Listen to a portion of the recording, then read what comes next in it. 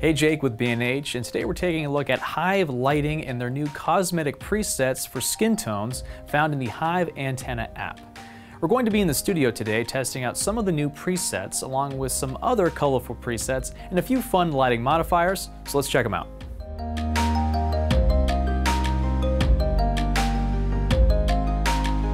We'll be pairing three Hornet 200 CX lights with a combination of cosmetic and artificial presets.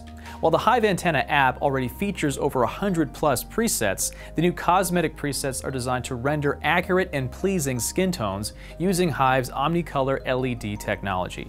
Omnicolor multi-chip LED arrays use a combination of secondary and tertiary colored LEDs to create a more complete and even spectrum than traditional RGBW lights. The Hornet 200 CX can create 12,000 lumens of point source light with no flicker at any frame rate, which is equivalent to a 700 to 1000 watt incandescent bulb. The 200 CX features a very high CRI of 98 and a TLCI of 97, so the color reproduction will be extremely accurate. It has a 100mm diameter, so it is fully compatible with hundreds of light modifiers, including Profoto's large selection of light shaping tools. We're going to be using a combination of ProPhoto softboxes along with a few of Hive's own modifiers, such as the Mini LiCo and Flood Reflector to create some unique looks.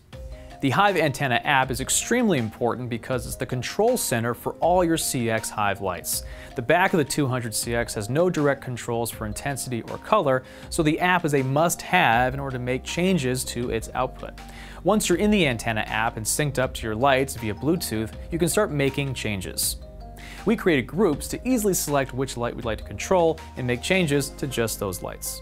When in colors mode, you can make all kinds of changes to the light such as intensity, color temperature, tint, saturation, and hue. You can even calibrate the light based on the type of shooting you're doing, such as photo or cinema. Switching to the sources mode brings up a comprehensive list of natural, artificial, and corrective color presets for all kinds of applications. Under the Corrective tab, there are 12 new cosmetic presets which are broken into three distinct categories, cool, neutral, and warm. There is Cool Amber, Cool Bronze, Cool Rose, Cool Violet, Neutral Amber, Neutral Bronze, Neutral Rose, Neutral Violet, Warm Amber, Warm Bronze, Warm Rose, and Warm Violet. Each of these presets allows you to find the most flattering light based on your subject's unique skin tone. For our model, we found Cool Rose to be quite flattering, so we all set our 200CX lights to Cool Rose and captured some nice portraits. We then had some fun with our modifiers like the Mini LiCo to cut the light into different shapes. We also chose different colors under the Artificial Preset tab like Amber Caution and the Blue Glow Stick to quickly create deeply saturated images. In only a few hours, we were able to create a variety of different looks and moods by just dialing in the app.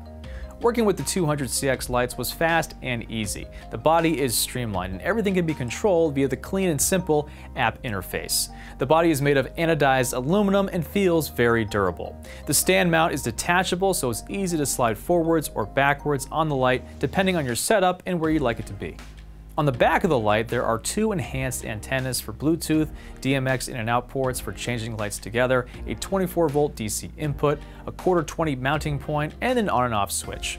With control of the light fully in the app, you want to make sure the device you're using is powered up, and you'll have enough backup power to last the duration of your shoot. Keep in mind that only the CX lights require full control through the app. The C line of Hive lights feature full controls on the back of the lights. The light weighs 2.2 pounds and measures 8.7 inches by 3.9 inches.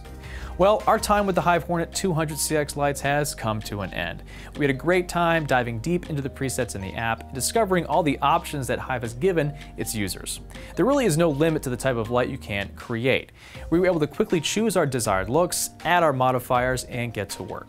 What are your thoughts about the Hive lighting and their new cosmetic presets? Let me know in the comments below. I'm Jake with B&H.